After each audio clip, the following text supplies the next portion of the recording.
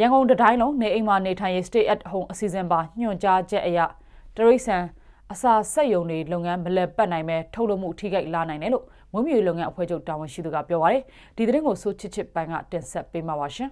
ပြည်တွင်းအစာဆက်ယုံတွေကမွေးမြူရေးလုပ်ငန်းတွေရဲ့နေ့စဉ်အစာလိုအပ်ချက်ကိုဖြန့်ဖြူးပေးနေတာဖြစ်ပြီး စက်ယုံလက်ပတ်မှုရက်ဆိုင်ပါကမွေးမြူထားတဲ့ဒိဆန်တွေအတွက်အစာပြတ်လတ်မှုဖြစ်ပေါ်ပြီးထိုးလုံးမှုကိုလည်းထိခိုက်နိုင်မှာဖြစ်တယ်လို့မြန်မာနိုင်ငံမွေးမြူလုပ်ငန်းအဖွဲ့ချုပ်တည်င်းနဲ့ပြန်ကြားရေးတာဝန်ခံဒေါက်တာတက်ခိုင်ကပြောပါတယ်။ဒီနေ့အစာကဗျာတစ်လစာနှစ်လစာလို့ကြိုထုတ်ထားလို့မရဘူး။ဒီနေ့ထွက်တဲ့အစာကိုဒီနေ့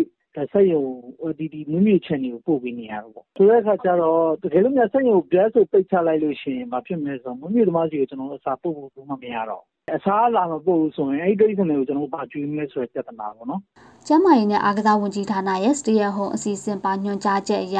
စားတောက်ကုန်နဲ့တာငါအေးကန်းလုပ်ငန်းတွေမှာတာဝန်ထမ်းဆောင်နေသူတွေလုပ်ငန်းခွင်ကိုတွားရောက်ခွင့်ရှိပေမဲ့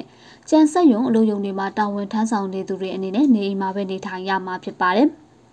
ပြည်တွင်းမှာမွေးမြူလုပ်ငန်းတွေအတွက်တရက်ကိုအစာတန်ချိန်4300ကိုထုတ်လုပ်နေတာဖြစ်ပြီးမြန်မာတိုင်းနိုင်ငံလုံးကမွေးမြူရေးလုပ်ငန်းတွေထံကိုဖြန့်ဖြူးပေးနေတာဖြစ်ပါတယ်။ဒါကြောင့်ဒိဆန်အစာစက်ရုံတွေလုပ်ငန်းမလဲပတ်နိုင်ဖြစ်ရင်မွေးမြူရေးလုပ်ငန်းတွေဆုံးရှုံးမှုရှိလာနိုင်တယ်လို့လုပ်ငန်းရှင်တဦးကပြောပါတယ်။ဝယ်တော့မှ တစ်ပတ်စာလောက်ပဲသူကအဲ့ထက်ပိုလို့ဝယ်ကြိုဝယ်ထားလို့မရဘူး။သူမိုးစင်းကာလမှာမိုးတက်မယ်မရဘူးလေအဲ့လိုဆိုလို့ရှိရင်ကြစ်သေးမှာပဲ။ဆိုတော့တစ်ပတ်စာလောက်ဆိုလို့ရှိရင်တော့ကိစ္စမရှိဘူး။အဲ့တစ်ပတ်စာလည်းကြော်သွားလို့ရှိရင်တော့ပြဿနာရှိတယ်။ရန်ကုန်မြို့တစ်မြို့တည်းတိန်းပေါင်းကအဲ တောင်းပေါင်းများစွာကိုဆုံးရှုံးမှုဖြစ်နိုင်တယ်။ဒါအပြင်ပို့ဆောင်ရေးအခက်အခဲကြောင့်ရက်ရှည်တူလောင်မှုမျိုးပြုလုပ်လို့မရတဲ့ဒေသအစာအပါအဝင်မွေးမြူရေးသွန်းအားစုတွေထုတ်ကုန်တွေမှာဆုံးရှုံးနေတာမှုတွေရှိနေရလို့ဆိုပါတယ်။တရားစုပိုင်းမှာပြောမယ်ဆိုလို့ရှိရင်ကြက်ပေါက်ကျွန်တော်တို့ကထွက်တယ်ပေါ့ထွက်လာတယ်ဆိုသူကချက်ချင်းချန်ကိုပို့မှာမဟုတ်ရင်အဲ့ဒီချက်တွေကိုဘယ်လိုထားမလဲပေါ့ပြဿနာကျောက်ဖောက်ဆက်လုပ်တဲ့သူကဖောက်ရုံပဲဖောက်တာလေသူ့မှာမွေးဖို့ချန်မရှိဘူးအဲဆိုတော့အခါကျတော့ဒီကသူကလည်းမွေးတဲ့သူစီကိုပို့ရမှာတစ်ဖက်မှာလမ်းကပိတ်ဆို့နေတယ်ဆိုလို့ရှိရင်အဆင်မပြေဘူးပေါ့နော် ဒါထွက်လာတဲ့ထွက်ကုန်မြိုင်းကြည့်မယ်ဆိုလို့ရှိရင်လည်းမူလိုက်တဲ့ချက်က45ရက်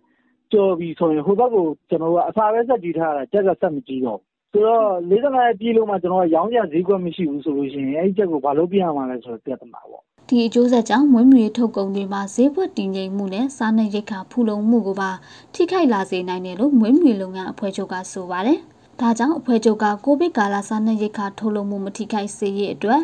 မွေးမြူရေးအစားစက်ရုံတွေဆက်လက်လက်ပတ်နိုင်ရေးနဲ့ကုန်စည်စည်းစိမ်မှုလွယ်ကူချုံးမွေစေရေးအတွက်ပေါင်းဆက်ညှိနှိုင်းပေးဖို့ရန်ကုန်တိုင်းဒေသကြီး COVID-19 ထိန်းချုပ်ရေးနဲ့အရေးပေါ်တုံ့ပြန်ရေးလုပ်ငန်းကော်မတီကိုစက်တင်ဘာလ22ရက်နေ့ကတင်ပြထားတယ်လို့သိရပါတယ်။ကျွန်မဆိုချစ်ချစ်ပိုင်းမှာ